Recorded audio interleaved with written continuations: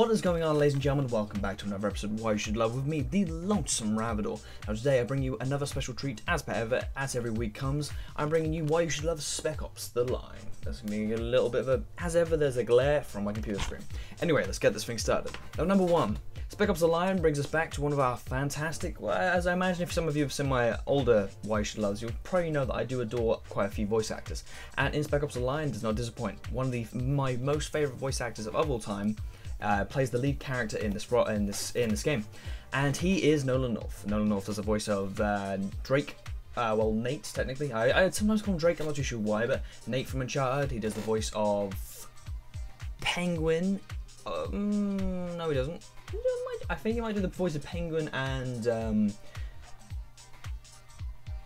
I think he does the voice of Black Mask as well. I think he does the voice of Black Mask and Penguin in uh, Batman. That's the recent one anyway. Um, he does the voice of so many other things. I cannot think of it right now. Oh, he does the voice of Richthofen from Zombies. Um, and quite a few other things, but I mean, you know, I mean, a lot of his main stuff. He's a fantastic voice actor, and this game does not disappoint. And he's a fantastic performance as per ever. He's more of an actor than uh, voice actor, I'd say. He's a fantastic voice actor altogether. Phenomenal. Anyway, uh, let's move on to my second point. Spec Ops: The Line really does offer you a, like a new kind of third-person shooter aspect to games. It really is kind of very, very immersive when you play it.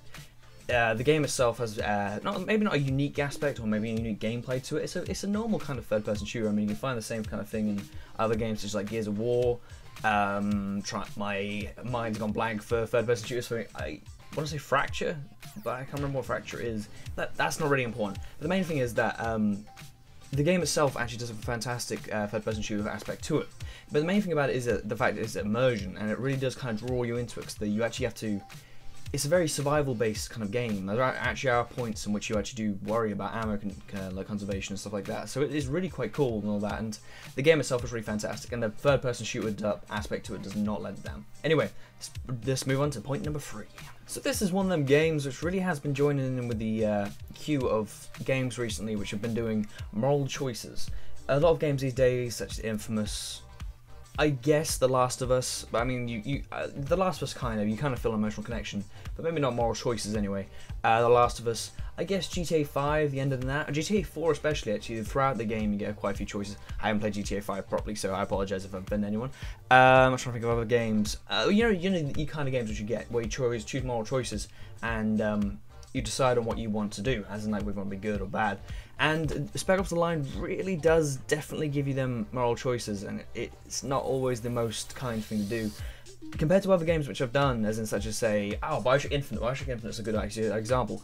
Say for example, Bioshock Infinite. Actually, maybe not the best example. I'm not too sure. Oh, actually, no, that is actually a good example. Actually, Bioshock Infinite with the um, couple on stage, we can throw a ball at them or not throw a ball at them. I actually when I when I played that, I felt quite an emotional connection between uh, myself and the characters in the game. Because obviously, I felt I felt it was evil what he, the guy was like telling you to do, and it wasn't correct that he should have been telling you to do that altogether. And you know, I, I I'm against racism. I'm not. I didn't think that was a good idea. But personally, comparing that to the this the, some of the moments in Spec Ops: The Line, I mean. I'm not one for racism, and I find it really terrible that ever happens, and it just makes me it makes me my gut churn like thinking about it.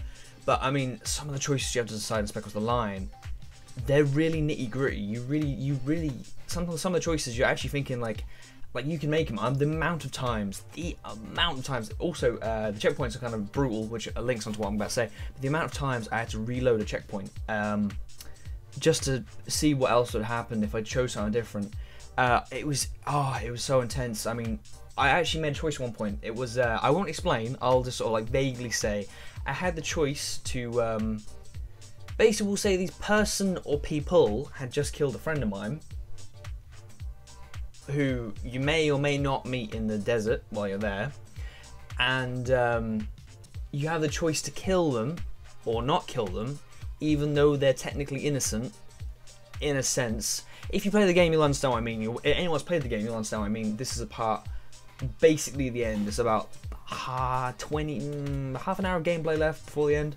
But I mean, fantastic moment that is. Honestly, that's like that's intense. That is. I'll try not to show it now. I'll try. I'll show some other different scene right now on the gameplay thing. But I mean, honestly, fantastic game. There, it really is.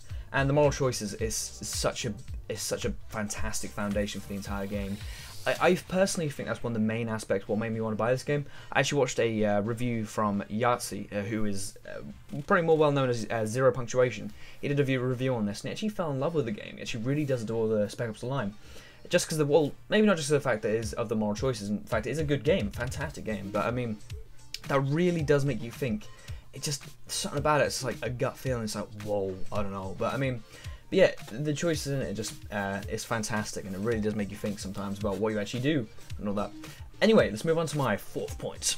To move on from the depressing moment of the uh, moral choices, I'm going to move on to talk about how diff the different ways in which you can kill people as you are stuck in Dubai and the desert has overtaken the Dubai after a severe, I think it's a bomb or something like that. I've forgotten properly. I haven't played the game quite some time, although you'll probably see it playing right now. Um, there are actually points in which the desert has taken over, and there are sand placed like sand is like heavily going against the sea. There are points in the game which an enemy can be standing near the sand, near the glass, and you can actually shoot out the glass. Yeah, you can shoot out the glass, and obviously it'll kill the enemy, and then you, you get like an advantage over them because obviously they'll be dead, no surprise. And uh, you can clear out other enemies a lot easier after that person's gone. It's quite a cool little thing. that's given you a new, unique aspect behind it to kill people in a different way. Not obviously like brand new or unique completely, but I mean it's uh, something like not many people do do, especially like well anyway. So you know it's a cool little game, uh, cool little aspect of the game anyway. So anyway, let's move on to my fifth point. So this game, as most shooters these days, definitely doesn't uh, fall away from the multiplayer genre. Uh, the game itself has quite a cool little nifty multiplayer uh, multiplayer mode to it. It's not bad. It's not uh, like fan. It's not the best I've ever played, but it's not. It's not. It's not bad. It's a fun little. It's a very average kind of COD thing, but it's a good thing if you guys do enjoy playing a game and then having something to do afterwards. So I mean, if that's a good reason to love this game, as you know you cannot get bored, as after you complete the game, you're then able to move on to multiplayer. Anyhow, ladies and gentlemen, I've been Lonesome Ravidor, you guys and beautiful as ever. Hope you have enjoyed this Why You Should Love on Spec Ops The Line. If you have any other ideas for any other games which I should do in the future, I'm starting to run out now, guys. It's getting a bit difficult. Uh, uh, next week, I'll be coming up a brand new YouTuber Why You Should Love, which should be quite fun. And I do believe that's about it anyway. Uh, so, yeah. Anyhow, ladies and gentlemen, I've been Lonesome Ravidor once again, and you guys once again have been very, very, very, very, very, very, very beautiful. Thank you very much for watching. I'll see you in the next one, ladies and gentlemen. Goodbye. You.